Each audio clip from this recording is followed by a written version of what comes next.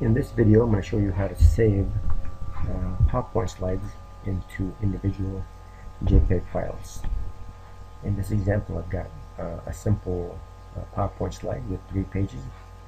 And the first thing you'll do is click File.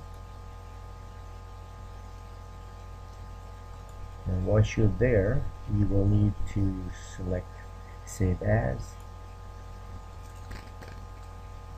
and you want to pick uh, JPEG as the file format, which is down here. Click it, and finally, uh, make sure we'll put this thing right now. It's going to my desktop, so I'm gonna I'm going to put it uh, in my documents section. I'm gonna put it right at the base of that document. It's called uh, Saving Slides at JPEG.jpg.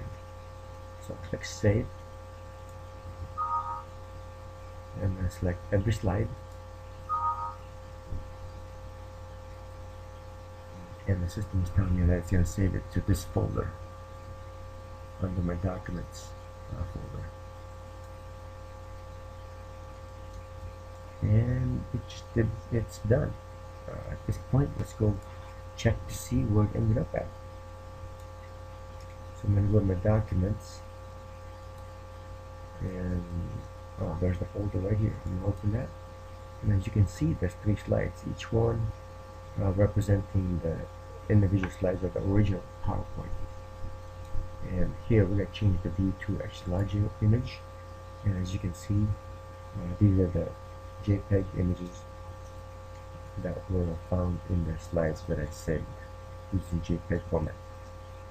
And that's pretty much how you do it. Pretty straightforward.